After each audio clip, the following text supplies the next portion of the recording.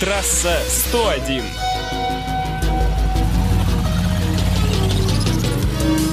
Приветствую, в эфире трасса 101. Владимир Сметанин не нарушает. Почти.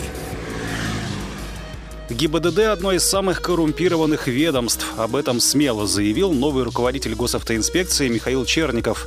По его словам, проблема должна решаться комплексно. Надо работать над моральным обликом сотрудников дорожной полиции. В прошлом году сообщалось о том, что ученые разработают для автоинспекторов комплекс испытаний, позволяющий определить их склонность к взяточничеству.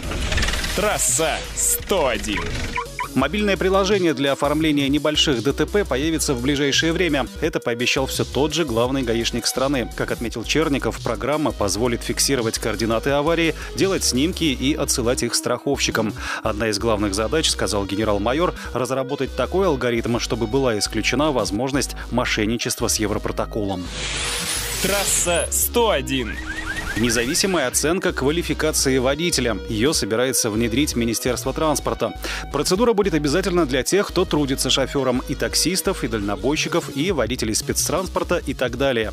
За отказ от прохождения экзамена гражданину будет грозить увольнение, а за успешный результат его, возможно, поощрят повышением зарплаты.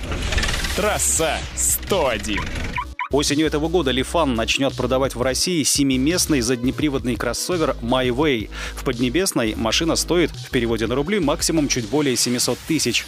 В данной комплектации она оснащена двумя подушками безопасности, климат-контролем, системой бесключевого доступа, люком в крыше, мультимедийной системой с 9-дюймовым сенсорным экраном и так далее. Двигатели – бензиновые атмосферники объемом 1,5 либо 1,8 литра мощностью 109 либо 133 лошадиные силы.